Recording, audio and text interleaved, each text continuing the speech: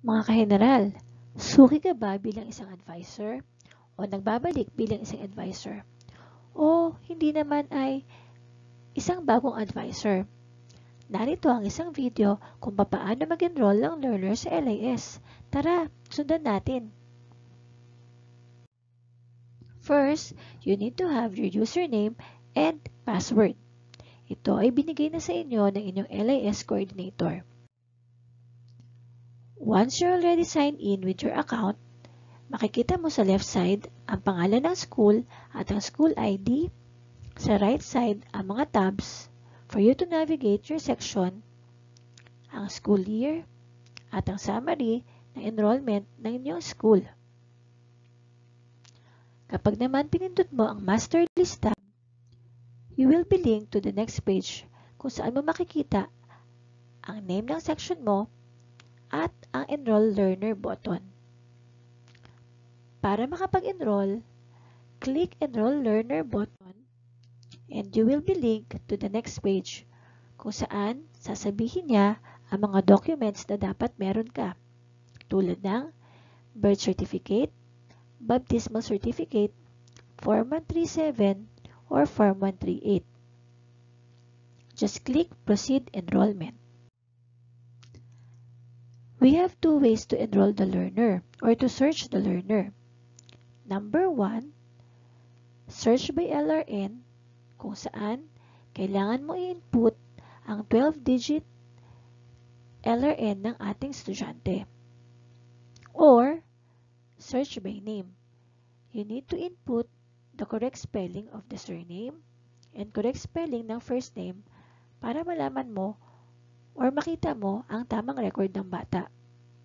Once you click search button, lalabas ang search result kung saan makikita mo ang LRN, last name, first name, middle name, extension name, gender, at birth date.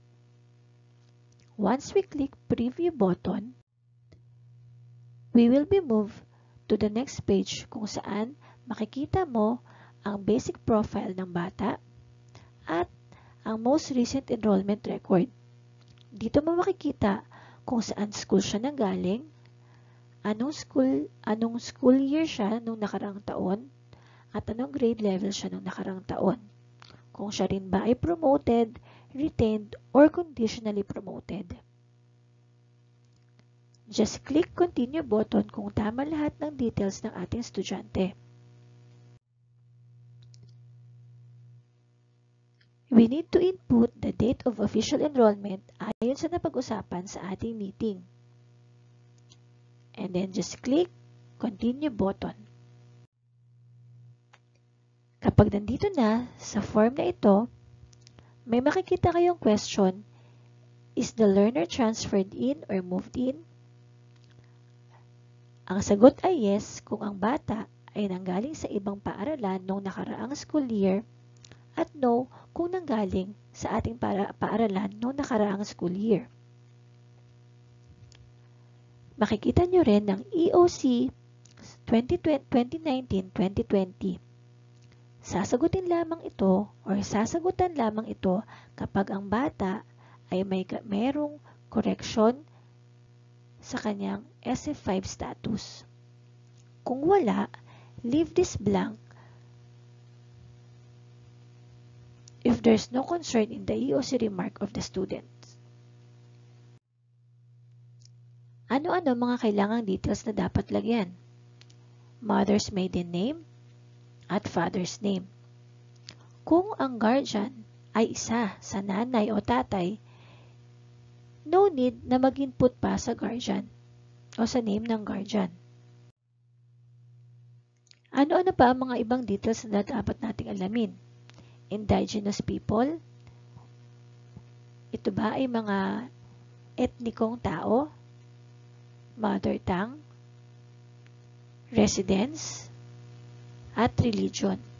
Commonly, ang mga ito ay may sagot na kung sila ay naka-enroll sa LIS noong nakaraang taon.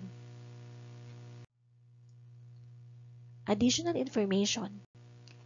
Special education needs? Yes or no?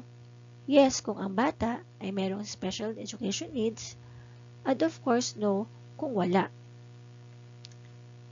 Country of citizenship, dito po nakalagay na agad ang ating bansa, Philippines.